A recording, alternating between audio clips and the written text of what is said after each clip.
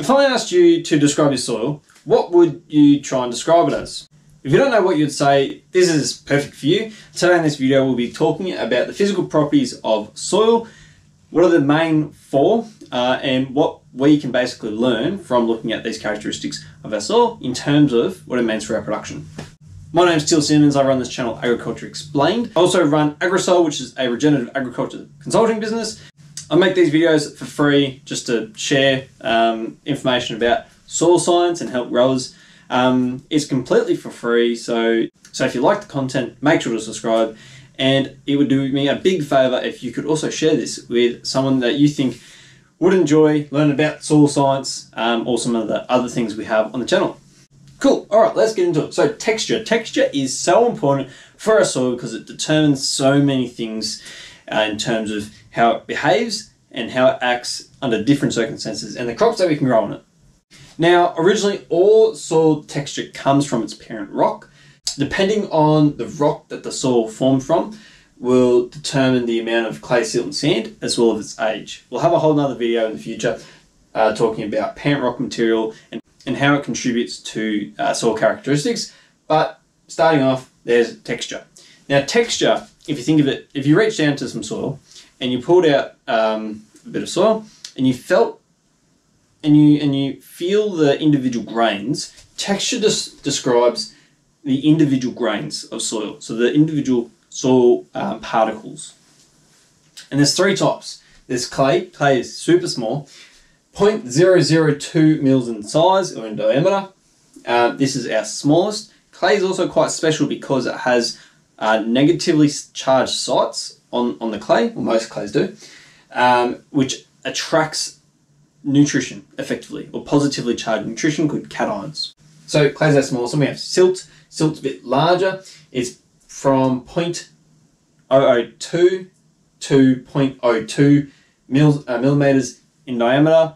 And then we have sand, which is quite large. Um, so sand's quite large. It's from 0.02 to 2 mils. And then if you get larger than 2 mils, it's, it's classified as um, gravel. Now, sand and silt don't have any charge, and so they do not contribute to our cation exchange capacity, which is what I was talking about with the, um, the positively charged nutrition.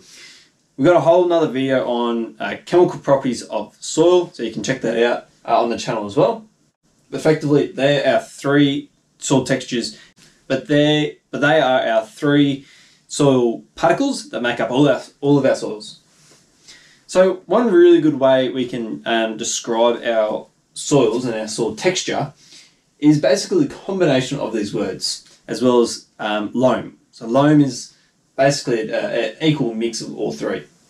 But effectively we have clayey soil, we have sandy clay soil, sandy clay loamy soil, uh, sandy loamy soil. So that's how that's what we can use to describe the texture. So we have clayey, um, silty, sandy, and loam. This triangle can help us determine which of those uh, is our soil. So to read this triangle is quite confusing, but effectively if you can see the arrows on uh, my diagram, they point in a particular way.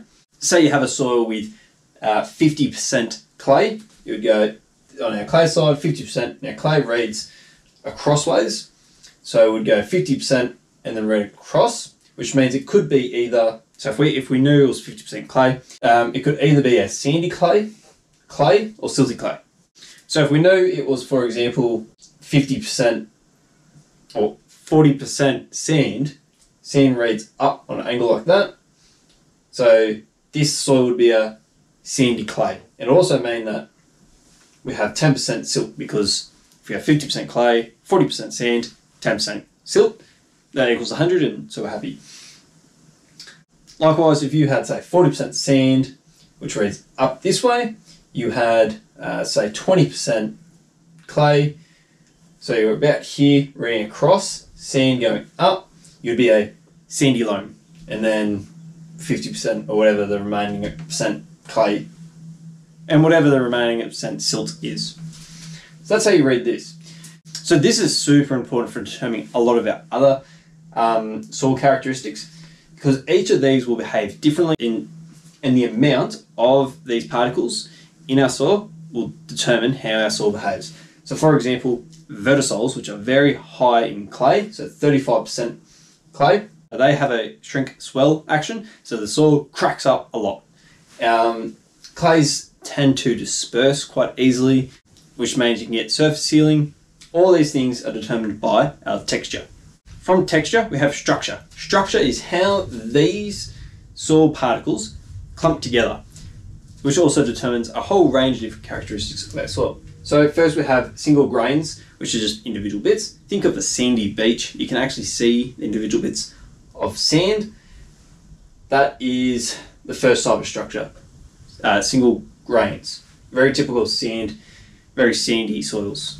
Next we have granular. Granular is about um, half a centimetre in size. This is actually probably the best um, structure you can get.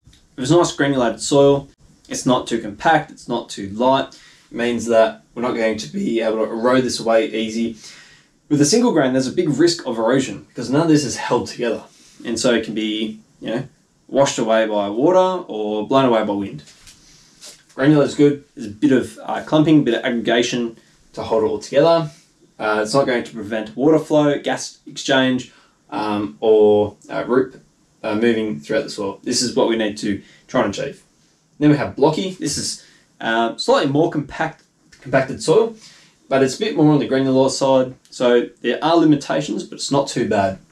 Typically, blocky soil is between point, uh, 1.5 to 5 centimeters. Next, we have platy soil. Platy is very typical of uh, compacted soils, and basically you form these plates on the soil. Uh, this is very bad for gas exchange and water exchange as well as roots trying to explore the profile. Because if you think about it, if you have water hit here, it's not going to be able to seep, uh, seep down into the soil. It has to continue along the plate until it finds an opening and then flows down. This is very bad for uh, water infiltration, which is very important for plant growth. Next we have prismatic. Prismatic is almost a, a larger blocky type uh, structure. They're just very long blocky aggregates basically, quite long, um, not very good. Finally, we have massive soils. There is no structure, it's all clumped together, very bad for um, trying to do anything with. So, all of these determine the amount of gas that flow into our soil, which is very important for our plants to breathe and our microbes to breathe, as well as water that flows into our soil and our roots to explore. So, typically, you want a nice amount of um, space in our soil for all of that. Having massive platy and prismatic soils is going to prevent that. And this is a sign of compaction, which is very typical of clayey soils. See how it flows across? However, single grain is very typical of sandy soils. So we don't want to be on either end. We want to be in the middle here because uh, single grains can either compress really easily and so then you get surface sealing, which is typical of clay, or in sandy soils, actually doesn't stop the water, so it goes straight through and then washes out. We don't keep any of it. Now all of this flows on to the next one, porosity. Porosity is the amount of um, airspace or what's called pore space or void space in our soil. So this is everything other than the mineral component of our soil, which is the uh, soil particle component, uh, and our soil organic matter component. So this is basically all the empty space if we took all the water out. So you can see here we have a effectively a, a soil that has maybe 50% pore space. This is really good because we can get air to flow in, we get water to flow in, it's going to have really good water infiltration rates. Roots are going to be able to move all the way through this profile. Whereas if we have a profile like this, which might only be 20% pore space, water's not going to be able to get in and what does, it's actually not that much. A lot of it's going to flow off. Our roots can't explore that much. It's going to be quite limited in what we can do. So we're going to want to try and aim for 50% pore space to ensure that we get all those benefits like gas exchange and water, water flow. Finally, we have bulk density. Bulk density is the amount of mass of soil in a particular uh, volume. So it's, a, it's a, the density of the soil. And we can use our bulk density to describe almost our porosity. The units of bulk density can either be grams per centimeter squared, or it could be megagrams per meter squared, or tons per meter squared. They're all the same. So if you have a 1.4 grams per centimeter squared, that's going to equal the same as megagrams and tons. It's, it's all the same. Now, the ideal bulk density varies with our soil texture. So for a sand, the ideal bulk density is 1.6, and roots start to stop um, effectively growing, or they start to struggle in about 1.8.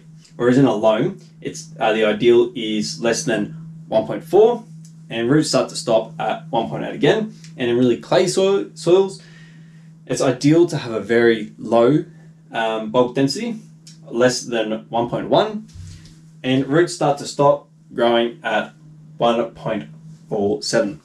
So there's a really scientific way we can measure bulk density, um, and there's also not. And that way is basically you get a, a cylinder and you smack it into the ground. There's a couple of calculations on it. So if we're at home or on the farm and you just want to get a, a simple, roughly right calculation of your bulk density, and there will be errors in it, but if we want to get it roughly, what we can do is get two measuring jugs, fill one up with say 100 mils of water, and what we're going to do is going to try and get some undisturbed soil. So if you put your shovel in, uh, get a bit, carefully move that out. You don't really want to break it up because that's going to disturb the structure, porosity of the soil.